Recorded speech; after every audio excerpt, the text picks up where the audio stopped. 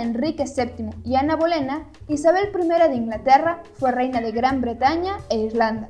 Tras la ejecución de su madre, el Parlamento la declaró ilegítima, aunque ocho años después le restablecieron sus derechos, durante el reinado de su hermano Eduardo VI. Con el ascenso al trono de María Tudor, Isabel fue encerrada, hechos que forjaron su carácter, reconocida por su inteligencia, prudencia y desconfianza. Sucedió a María I y aunque su legitimidad fue cuestionada en un inicio, reinó por 45 años, periodo en el que restableció el anglicanismo como religión de Estado, estableció el cuerpo jurídico del orden religioso del reino y emprendió la persecución contra católicos y calvinistas.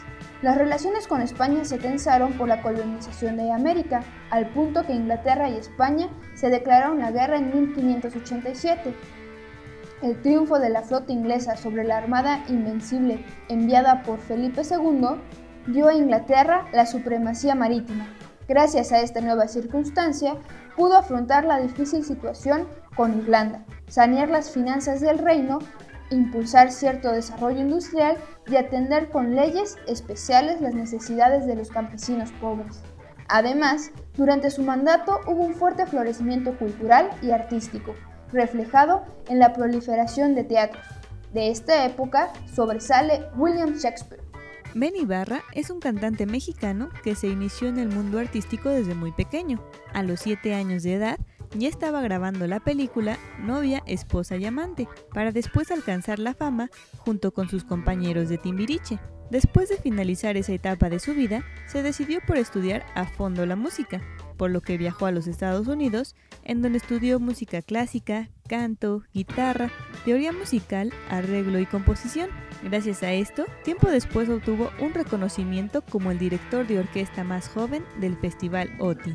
También ha participado en obras musicales, interpretando a Dani en la obra Vaselina y actuando en Godspell y en Hermanos de Sangre junto a su madre y a su hermano. Además, ha incursionado en el cine, actuando en la cinta Ciudad de Ciegos, y más recientemente realizó el doblaje de la película Desperox, un pequeño gran héroe. Actualmente sigue con su carrera musical como solista. Cantante, compositor y actor canadiense, creció escuchando la colección de jazz de su abuelo, quien de hecho ha tenido una profunda influencia en su carrera. Hablamos de Michel Bublé, su carrera artística comenzó cuando conoció a David Foster, productor y ejecutivo de Warner Brothers, quien lo apoyó para grabar su primer álbum homónimo, Michelle Bublé, con covers como Fever, The Way You Look Tonight, For Once in My Life, Moon Dance y You Will Never Find Another Love Like Mine. Cuenta con tres álbumes más, It's Time, Call Me Irresponsible y del más reciente, Crazy Love, del que se desprende el éxito Haven't Met You Yet. No destaca mucho como actor, pero ha participado en un par de series como Bravo y Los Expedientes Secretos X, y en películas como Totally Blonde. Luis Alberto Cuevas Olmedo, mejor conocido como Beto Cuevas, es un cantautor chileno que obtuvo fama gracias a su participación como vocalista en el grupo La Ley. A pesar de ser chileno de nacimiento, vivió su infancia en Venezuela y Canadá, dominando idiomas como el español, el inglés y el francés. De pequeño, siempre se mostró como un niño tranquilo con gran espíritu deportista. De hecho, gustaba del patinaje sobre hielo y la natación, aunque su verdadero hobby era el dibujo.